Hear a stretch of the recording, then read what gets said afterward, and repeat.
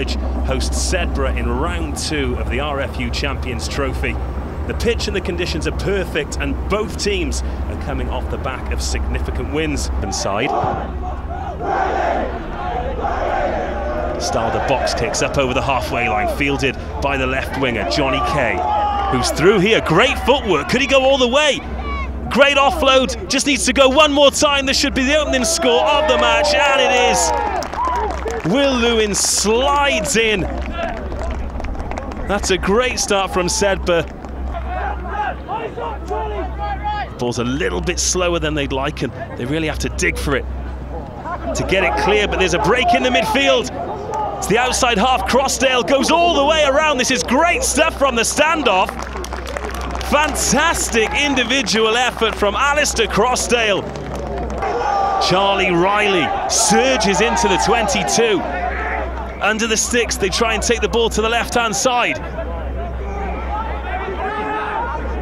Held up by Sedbergh, but Charlie Barber, the vice-captain, takes it in. Now it's the inside centre. He's going a bit sideways. Offload. It's on if they can get it there. And that is the first score of the match. Charlie Legrees scores the first try for Radley. We talked about turning pressure into points.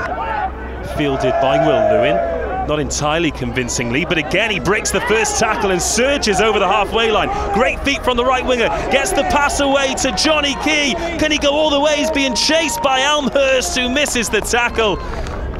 Three counter-attacks and three tries from Sedbergh. Devastating pace from inside their own half. Short ball to the 12, who knocks it on. Great defensive pressure, but offside, says the referee. The scrum half wants to go quickly. Moves it out to the left-hand side, against the grain. Great tackle, but not enough, and Radley score.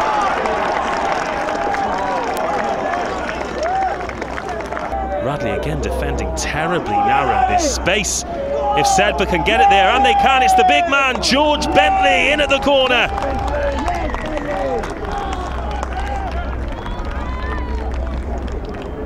Well, we did say that Radley were defending terribly narrow. They'd committed a lot of bodies to that contact zone.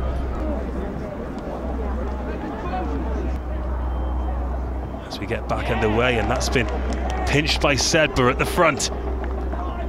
Again, they go for the drive, just meters short. Great momentum. It's gone to ground. Try, says the referee. So when it comes again, it's the number eight at the front of the line, Tom Oliver, the captain. Been very reliable as a two option. Here comes the drive.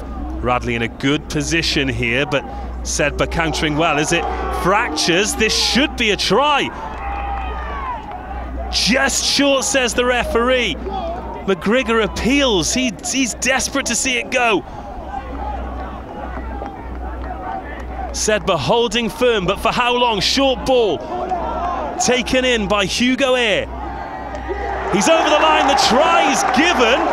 Hugo Eyre celebrates, slams the ball to the ground. That is his second try of the match. To that attention, he got just outside the 22. That's not a great strike. Has it made 10 metres? Yes, it has. That looks to have gone forward as well. No, says the referee, but Radley recover the ball surging forward and bailed into touches. It gets a little bit tasty there over on the far side. The tackle was made by James Botham. Taken quickly, and again it's the left winger who surges forward, offloads it to Alistair Crossdale. And he's gone in under the sticks. A devastating counter-attack from Sedbergh, and that's eight points in less than a minute. And they've actually taken it quickly looking to catch Radley cold here. And they might have done it. Oh, that's a great scrag tackle on Ben Watson because he could have been away. Numbers left for Sedbergh. Out to Johnny Key. Breaks another tackle before being dragged to the ground. He's tremendously strong, deceptively strong is the Sedbergh right winger and they burst through the midfield again. This could be a simple run in for the fullback, George Phelan. He's being chased back all the way by Rufus Wallace, but he'll get there and the swan dive. Out of six here at the beginning of the season. Flat restart from Radley, gathered well inside the 22 and now all of a sudden Sedbergh breaking tackles at will. Offload again to Phelan who'll go in under the posts for his second try in a minute. And that is truly heartbreaking for Radley. And that is the full-time whistle.